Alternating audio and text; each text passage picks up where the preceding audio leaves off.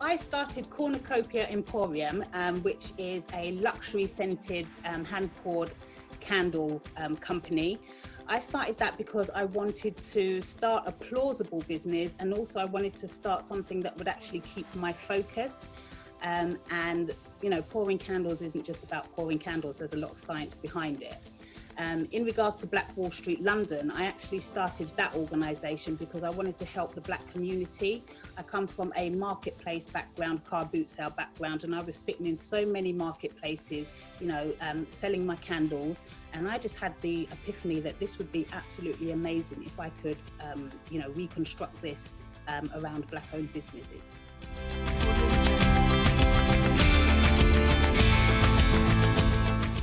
Prior to joining the membership, my biggest challenge was definitely financial.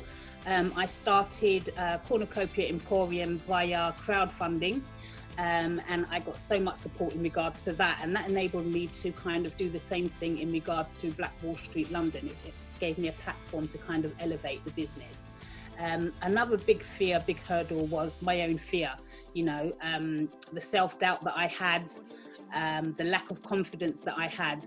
Um, and I found myself hiding behind my brands, Cornucopia Emporium and Black Wall Street London, instead of putting a face to my brand. So it was definitely my own self confidence. First off, it was all about the confidence level that I lacked.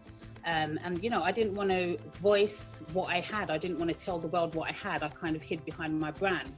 And I remember at a Hustle and Heels event, um, and I did my first pitch, um, and I was very small. And it's funny, but I actually connected with a lady called Coach Harris, um, Dorette Harris, and she stopped me in my tracks. And she was like, "Hold on a minute, lovely. Um, that was a really small pitch. Do it again."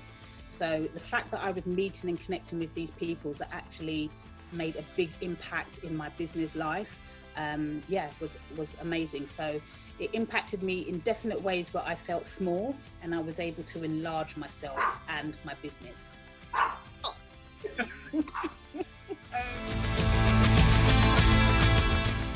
have progressed in so many different ways. Firstly, I spoke about my confidence. I am a completely different person when it comes to, um, you know, elevating myself in regards to my pitch for my company, Cornucopia Emporium.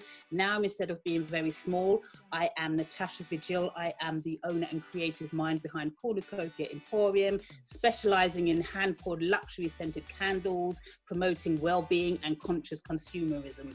I can go on and on, but I won't. so yeah it's definitely elevated my confidence. Also it's opened so many doors in regards to connecting. You know black wall street london is all about me connecting businesses with businesses promoting businesses.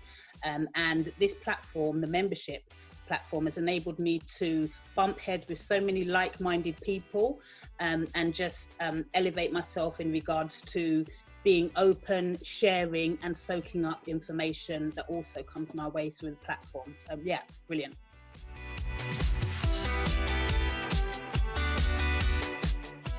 Kick down the fence. If you're on the fence, just imagine you've got two sides. If you knock that fence down, you get to experience the beauty of both sides of the garden, so to speak.